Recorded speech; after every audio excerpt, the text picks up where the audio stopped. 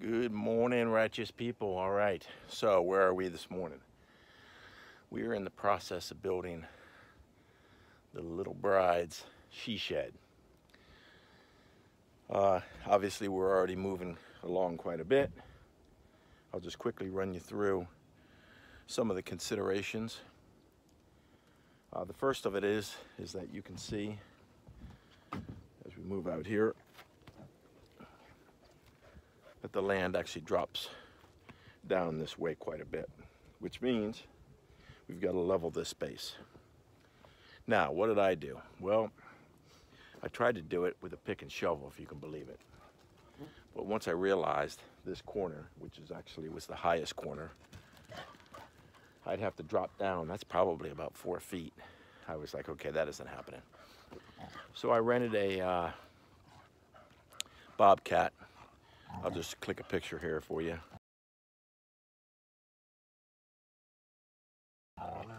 Uh, and I came in here and I just leveled it out to the best I could. Now I'm not a master uh, Bobcat driver or user, believe me. Um, so it took a bit of a time, but it was just a day. And I had spent two days with a pick and shovel. Uh, the ground here is really good, uh, very fertile up top. Um, but you can see as we got deeper, uh, we started to get into even down to bedrock. Uh, but that's pretty good. You have a four foot of, of pretty good um, soil before you get down to bedrock. You can't ask for better than that. I mean, in all honesty, you know, could have easily gone to uh, bedrock sooner and had less opportunity as far as the garden goes. So we're super happy about that. But there's a lot of um, just uh, shale, shale rock here. Uh, so we'll do our best to try to move that out.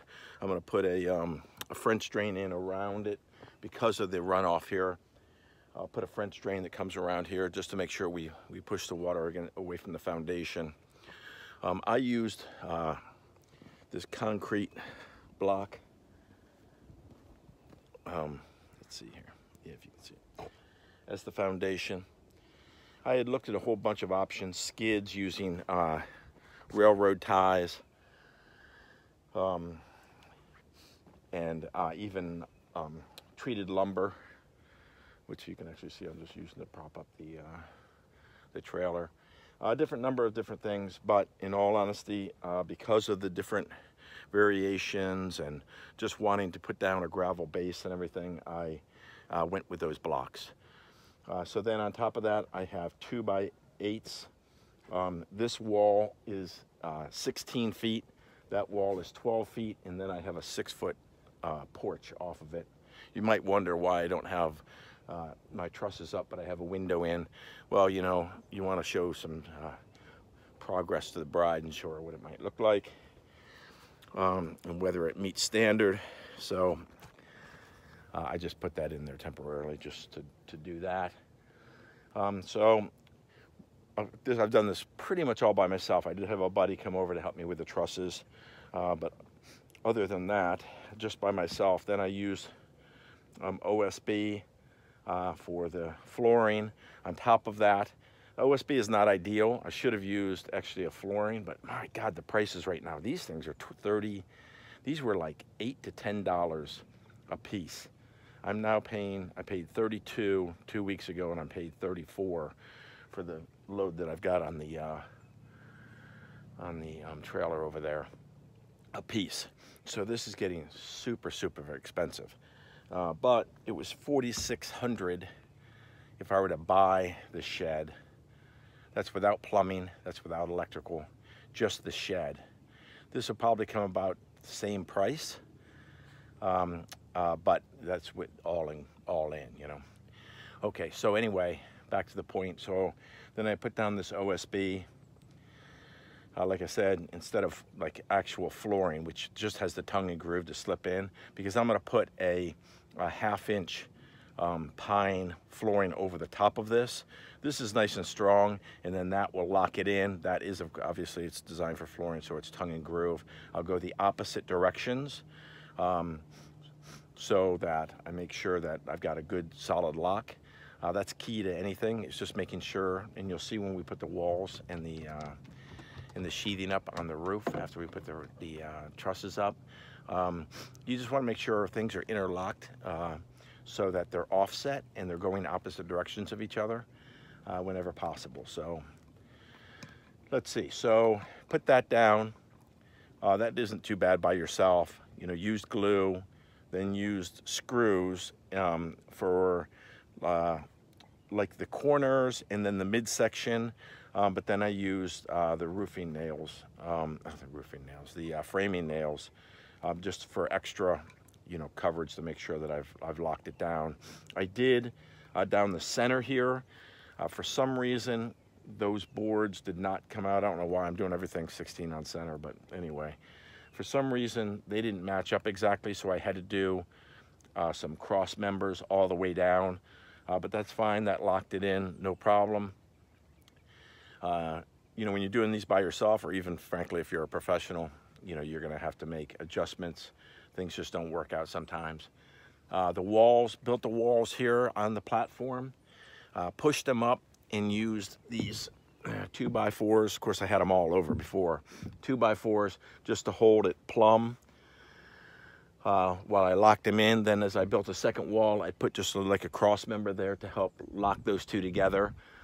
Um, just because I'm by myself, I had to do what I could. You know, it was seemed pretty rickety for a while there until I got everything up. And of course, now when I put the trusses up and then I sheathe it, uh, it will just lock it in more and more.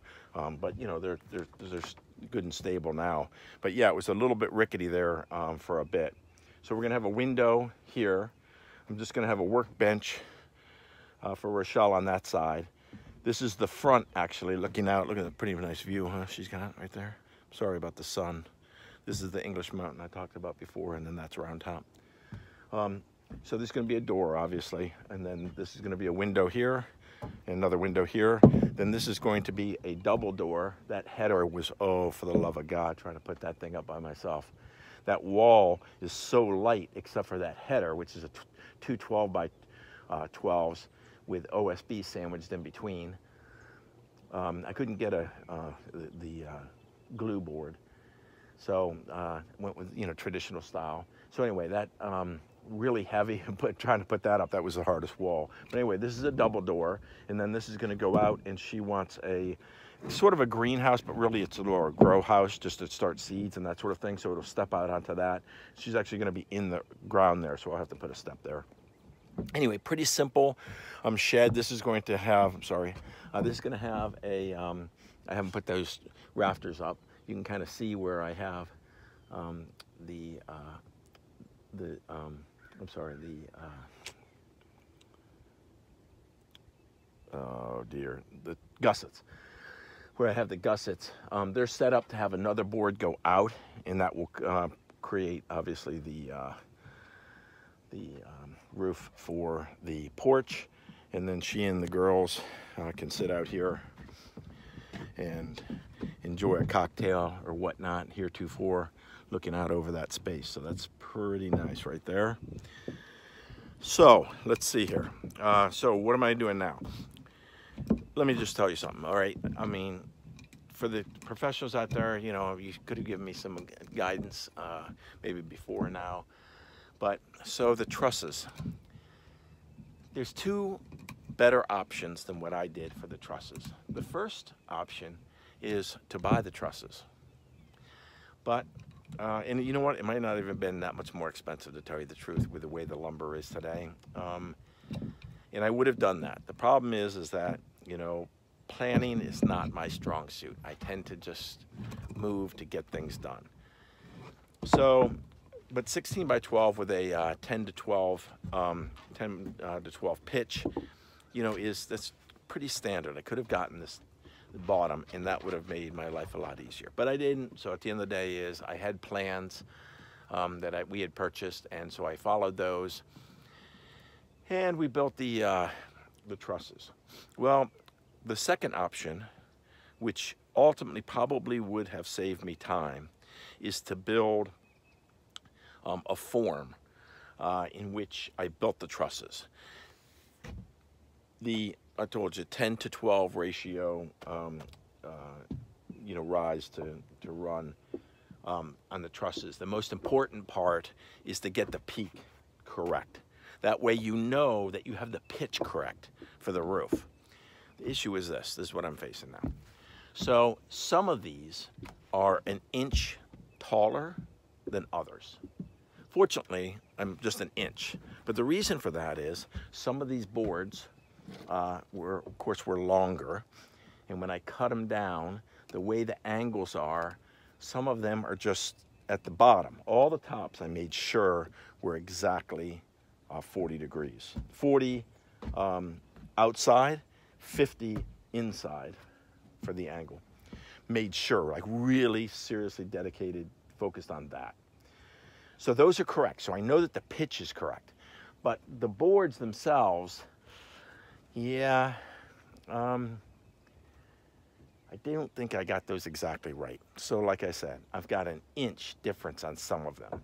So I've got to adjust for that about how I'm going to put these up and have them all so that they are the same. Fortunately, the pitch is the same. So it might be just a matter of taking off the top because I'm gonna have a roof vent anyway.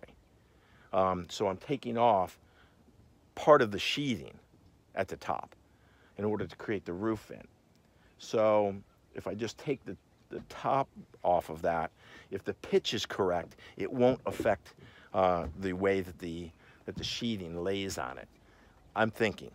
So again, this is a work in progress. I'm gonna try.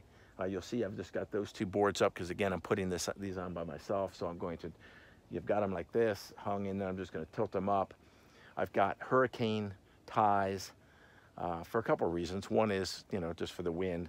But the second thing is that um, it'll make it easier. If I tie those into these boards uh, where they're supposed to be, then when I tilt it up, I'll be, that'll be a good anchor point that I can sort of more efficiently just tie that, the, um, the trusses into each other, or the trusses into the, the walls. And then I've got, of course, boards that are, these are on twos, so two foot. Um, then I'm, I'm, you know, obviously going to use the, uh, uh, oh, what's the term for that? I know what the term is. Anyway, um, uh, the boards in between to lock them each together. Um, I don't know why I can't pick up that word. It starts with an S. Anyway, so that's what I'm looking to do. I'm first taking all of these, I'm gonna put them up here and I'm going to sort of lay them out. Uh, how I found out that I, I actually was off on my, um, on my height was my uh, king post, which you can see I haven't put them in yet because my king posts were all over the place. You know what I mean? Like I said, I mean, it's only an inch, but an inch is a big, is a big difference. So my king posts were different. And I was like, how is that possible? So anyway, I should have used, um, you know, a jig or a, uh, a you know, a, um, a form in order to put these in that had the proper pitch and everything and so that each board laid in there and then I could cut them and, and screw them down. Um, but unfortunately, when I was doing this about a week and a half ago, I was really racing against time because of the rain uh, and having to get back to Virginia. So as a consequence, I didn't do that. Um, and so now I'm going to pay the price by trying to have to, to fix it now while th they've already been made. Uh, so my recommendation to you is not to do that, uh, to have some help. Uh, that always helps. Um, and to create a, a jig that you can just lay the boards into and make them all the right size and height. But as we go through this, you'll learn. Maybe this will be a complete failure, and I mean, it's possible I have to tear the whole thing, all these uh, trusses down and redo them. I mean, it's possible. Uh, you know, at the end of the day is you got to get it, you know, right. So anyway, there we are. All right, so let's get started. I'm just gonna put these out. I've pulled these out. I had these just strapped to the walls to the respective walls um, just so they would sit while I was gone for about 10 days uh, for any wind or whatever. And now uh, we're just, I'm just gonna lay them out, put them out as best as I can as far as the, the heights and then you know try to prop some up and just see how they they work and then see whether I what I have to do as far as um, cutting uh, to try to make sure that they're the same um, height and then create the king posts uh, to put in uh, between the peak um, and the uh, the lower chord um, to or cord to, to, to just uh, you know lock these in. Okay, here we go.